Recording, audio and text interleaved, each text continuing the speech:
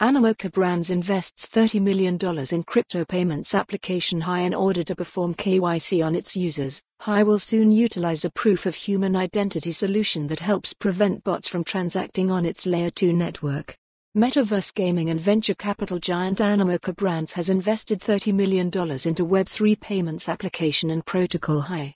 In addition, Hi has forged a partnership with Animoca Brands to help bring utility to non-fungible tokens, NFTs, across its portfolio companies and throughout the Web3 ecosystem. According to a press release, the partnership will create deep integration between Animoca Brand's expansive network and Hi's services, anchored by Hi's Web3 financial super app and its Layer 2 Ethereum sidechain Hi Protocol. Co-founder Sean Rach told CoinDesk that Hi operates as a neobank, or a digital-only application that provides banking services, allowing users to transact in crypto or fiat.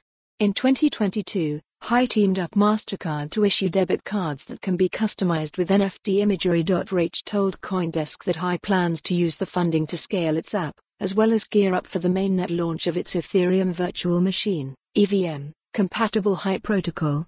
He added that as cryptocurrency utility expands, leveraging Animoca Brand's network will help the company integrate its payments infrastructure into its portfolio companies and across the greater ecosystem.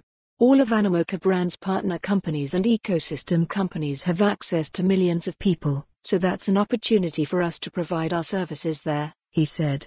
4. Animoca Brands, they follow the URL for the full article for more on this story, visit the news article link.